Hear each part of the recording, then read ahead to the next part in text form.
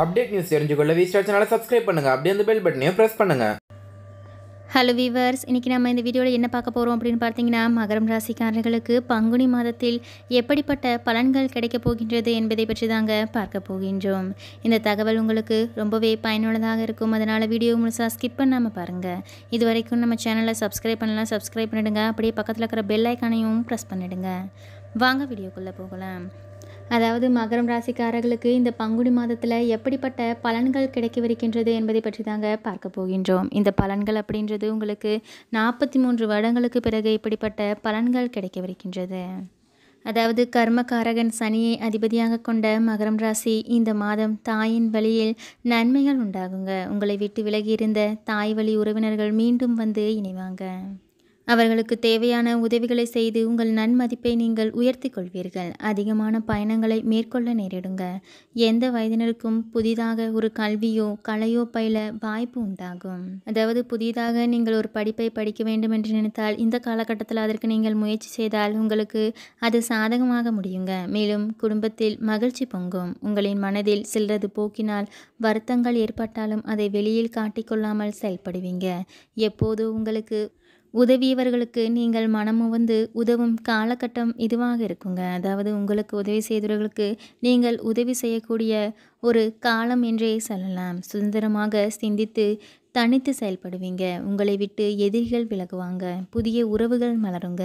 அவர்கள் உங்கள் செயல்களுக்கு அரணாக திகழ்வார்கள். தொழில் செய்பவர்கள் போட்டியாளர்களின் தடைக்கற்களை கடக்க சற்று போராட வேண்டியிருக்கும்.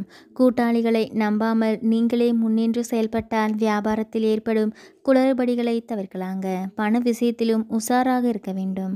மற்றபடி சுகத்தை மறந்து கடினமாக உழைப்பீர்கள்.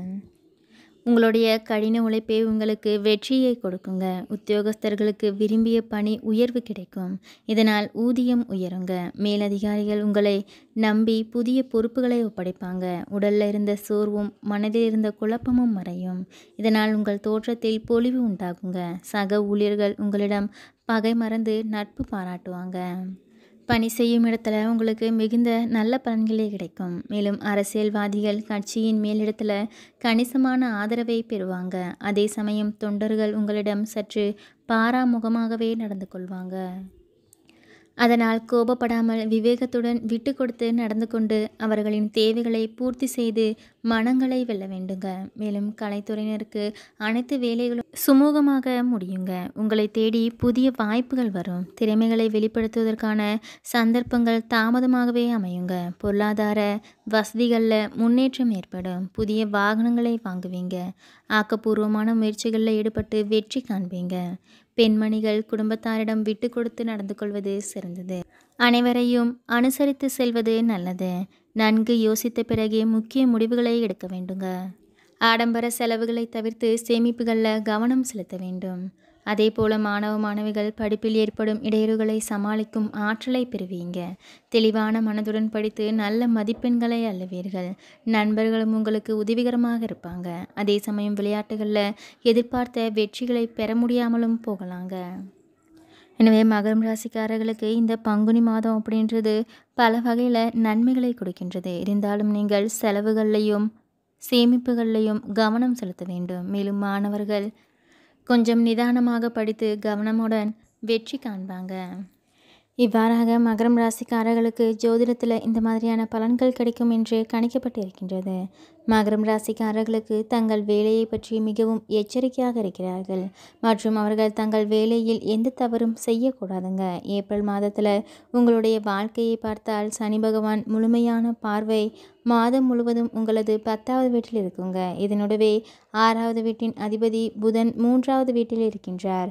இந்த நேரம் உங்களுடைய வேலைக்கு நன்றாக இருக்கும். மாணவர்களை பொறுத்தவரைக்கும் ஐந்தாவது வீட்டில் செவ்வாய் மற்றும் ராகு இணைந்திருப்பது மிகவும் சாதகமாக தெரியவில்லை.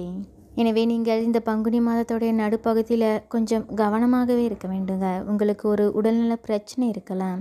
அதன் விளைவு உங்கள் படிப்பை சற்று தடுக்கலாங்க.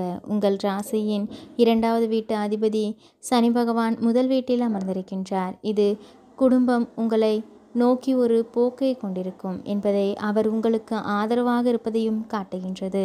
உங்களுக்கு நிதி உதவி தேவைப்பட்டால் அவர்கள் அதிலிருந்து பின்வாங்க மாட்டாங்க. இந்த நேரத்தில் உங்கள் குடும்பத்தின் முழு ஆதரவும் உங்களுக்கு கிடைக்குங்க. ஐந்தாவது வீட்டில் செவ்வாய் மற்றும் ராகு இணைந்திருப்பது காதல் தொடர்பான விஷயங்களுக்கு தொந்தரவாக இருக்கும். ஒருவருக்கொருவர் கடுமையாக நடந்து கொள்வீங்க. சண்டை அல்லது விவாதத்திற்கு முழு வாய்ப்பு இருக்கின்றதுங்க. எனவே நீங்கள் விட்டு கொடுத்து செல்வதனால் உங்களுக்கு இருக்கும் சண்டைகளிலிருந்து நீங்கள் விலகி இருக்கலாம். இதனை நீங்கள் கட்டுப்படுத்த முடியாவிட்டால் பரஸ்பர மோதல்கள் அதிகரிக்க கொடுங்க மற்றும் உங்கள் உறவு முறிந்து போகக்கூடும் எனவே இது மிகவும் நுட்பமான நேரமாக இருக்குங்க. அங்கு நீங்கள் நிறைய சிந்தனை எடுக்க வேண்டும்.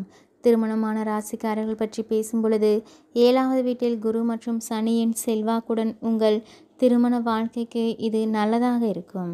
வாழ்க்கை துணைவியார் மற்றும் நீங்கள் இருவரும் ஒருவருக்கொருவர் அனைத்து பொறுப்புகளையும் நீங்கள் புரிந்து கொள்வீங்க.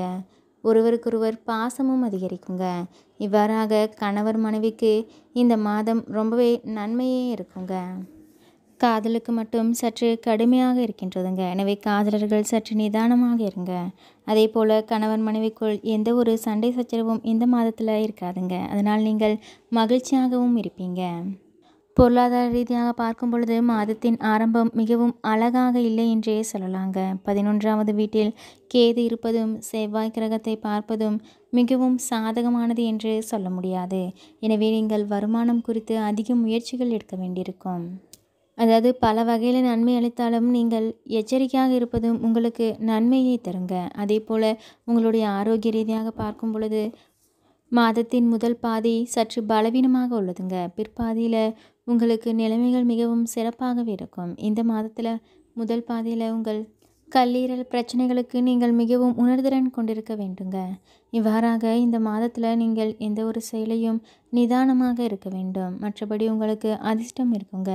இந்த ஜோதிடம் அப்படின்றது பார்த்தீங்கன்னா பொது ஜோதிடமாகவே கணிக்கப்பட்டிருக்குங்க. இது உங்களுடைய தசா புத்திக்கு ஏற்ப மாறும் என்றும் சொல்லப்பட்டிருக்கு. எனவே மகரம் ராசிக்காரர்களை பொறுத்த வரைக்கும் இந்த மாதத்தில் பல வகையான நன்மைகள் நடக்குங்க. அதாவது வேலையில் எந்த ஒரு பிரச்சனையும் இருக்காது. நீங்கள் தேவையில்லாமல் பேசுவதை சற்று தவிர்ப்பதே சிறந்ததுங்க. மேலும் காதல் விவகாரங்களில் காதலுடன் விட்டு கொடுத்து செல்வது நன்மையை தரும். அதே போல் மாணவர்கள் கவனமாக படிக்க வேண்டுங்க. அப்படி படித்தால் நிச்சயம் உங்களுக்கு வெற்றியே கிட்டும். அதே போல் இந்த மாதத்தோடைய முதல் பாதியில் பார்த்தீங்கன்னா ஜென்மராசியில் சனி குரு இரண்டாம் வீட்டில் ராகு செவ்வாய் ஐந்தாம் வீட்டில் செவ்வாய் ராகு லாபஸ்தானத்தில் கேது என கிரகங்கள் சஞ்சரிக்கின்றன. வேலை தொழிலில் உங்களுக்கு லாபமும் கிடைக்குங்க. குடும்பஸ்தானத்தில் உள்ள சூரியன் சுக்கிரனால் குடும்பத்தில் தேவையில்லாத வாக்குவாதங்களை தவிர்த்து விட வேண்டும். புதன் உங்கள் ராசிக்குள்ளிருந்து இரண்டாம் வீட்டிற்கு நகர்வதால் வளர்ச்சியும் முன்னேற்றமும் அதிகரிக்குங்க. ஏழரை சனியில் ஜென்ம சனி நடைபெறுவதால் அலைச்சல்கள் அதிகரிக்கும். வேலையில் இடமாற்றம் உண்டாகுங்க. திருமண சுபகாரியங்கள் பேச்சுவார்த்தைகள் நடைபெறும். தடைகளை தாண்டி சுப காரியங்கள் நடைபெறுங்க. திருமணம் முடிந்து புத்திர பாக்கியத்துக்காக காத்திருப்பவர்களுக்கு இந்த மாதத்தில் குழந்தை பாக்கியமும் கிடைக்கும். அதற்கு உண்டான யோகம் உண்டாகுங்க. இந்த மாதத்தில் பெரிய அளவில் முதலீடுகளை தவிர்த்து விடுங்க. உயர் அதிகாரிகளுடன் மோதலை தவிர்த்து விடுவது ரொம்ப ரொம்ப நல்லது. மேலும் பங்குச்சந்தை முதலீடுகளை தவிர்த்து விட வேண்டுங்க. மாணவர்களுக்கு திடீர் மறதிகள் வரலாங்க. படிப்பில் கவனமும் அக்கறையும் தேவை. இந்த மாதத்தில் உங்களுக்கு இருபத்தைந்தாம் தேதி இரவு பத்து நாற்பத்தி எட்டு மணி முதல் மார்ச் இருபத்தி எட்டாம் தேதி அன்று அதிகாலை ஒன்று இருபது மணி வரைக்கும் சந்திராஷ்டமம் உள்ளதால் கவனமும் செயல்களில் விழிப்புணர்வும் ரொம்ப ரொம்ப அவசியம். எனவே இந்த மாதத்தில் கவனமும் பொறுமையும் தேவைங்க. புதிய முதலீடுகளை தவிர்த்து விடுவது உங்களுக்கு நல்லது. மகரம் ராசிக்காரர்களுக்கு ரொம்பவே நன்மை அளித்தாலும் சில விஷயங்களில் கவனமாக இருக்க வேண்டுங்க. மற்றவருடன் பேசும் பொழுது எச்சரிக்கையாக இருங்க. உங்களுக்கு நல்லதே நடக்க தினமும் நெய் அபிஷேகம் செய்து ஐயப்பனை வணங்கி வர மன மகிழ்ச்சி அதிகரிக்கும். உங்களுக்கான சந்திராஷ்டமம் தினங்கள் ஏப்ரல் ஐந்து மற்றும் ஆறு ஆகும். இந்த தினத்தில் வெளியில் செல்லும் பொழுது கவனமாக செல்லுங்கள். மற்றவருடன் பேசும் பொழுதும் நிதானத்தை கடைபிடிக்க வேண்டுங்க. எந்த ஒரு செயலையும் உங்களுக்கு நிதானம் வேண்டும். மேலும் உங்களுக்கான அதிர்ஷ்ட தினங்கள் மார்ச் இருபத்தி ஒன்பது மற்றும் முப்பது ஆகும். இந்த தினங்கள் உங்களுக்கு நீங்கள் நினைத்த காரியங்கள் உங்களுக்கு கை கொடுங்க. இந்த நாளில் ஒரு செயலை துவங்கினால் உங்களுக்கு வெற்றியே கிட்டும். மேலும் உங்களுக்கான அதிர்ஷ்ட கிழமைகள் திங்கள் வியாழன் மற்றும் வெள்ளிக்கிழமை. இந்த நாட்களில் நீங்கள் மகிழ்ச்சியாகவும் இருப்பீங்க. மேலும் சந்திராஷ்டமம் தினத்தில் கவனமாக இருப்பது காலை வேளையில் ஐயப்பனை நினைத்து அந்த நாளை துவங்குவதும் நன்மையே கொடுக்குங்க. அதே போல் சனிக்கிழமையில் சனி சாலிசாவை ஓதுவதும் சிறந்தது. இரும்புகளுக்கு மாவு சாப்பிட கொடுப்பது உங்களுக்கு இந்த மாதத்தில் நன்மையே பயக்குங்க. எனவே இன்றைக்கு நாம் நாற்பத்தி மூன்று வருடத்திற்கு பிறகு மகரம் ராசிக்காரர்களுக்கு இந்த மாதத்தில் ரொம்பவே கவனமாக இருக்க வேண்டும் என்பதை பற்றி பார்த்தோங்க. மேலும் இந்த தகவல்களை பற்றிய உங்களுடைய கருத்தை கமெண்டில் பதிவு பண்ணுங்கள் இந்த தகவல் உங்களுக்கு பிடிச்சிருந்தால் லைக் பண்ணுங்கள் ஷேர் பண்ணுங்கள் இது போன்ற பல சுவாரஸ்யமான தகவல்களை தெரிந்து கொள்ள சேனலை சப்ஸ்கிரைப் பண்ணுங்கள் தேங்க்யூ